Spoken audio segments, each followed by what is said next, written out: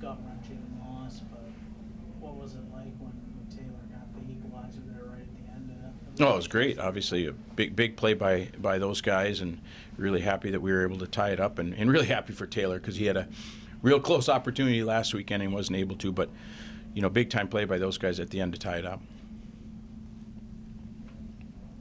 You know, what were you looking at with that challenge there? Just We were looking at too many men on the ice. Um, depending upon how you read the rule book and depending if you are within five feet of the bench, you're supposed to be good. But the, the puck stayed in as a direct result of the player who was exiting the ice. His skate blade kept he he kept the puck in, and without him being on the ice, that puck does not stay in the zone. So that's we, we were just looking at that because we we weren't necessarily challenging to see if there was a penalty on the play as much as the goal was a direct result of that play, but uh, that that player being on the ice.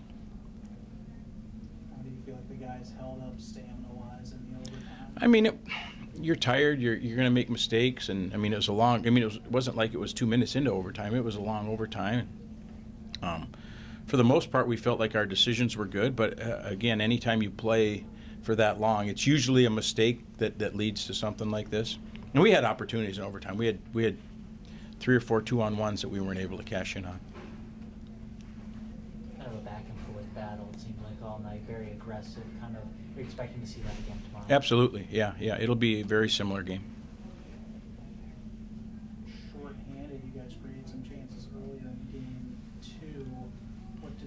like led to success creating rushes the other way? You know, just good reads and, and guys working. Um, again, unfortunately, the the odd man rushes that we got didn't. It would have been nice to, for us to cash in on one of those or one or two of those opportunities because we had a few.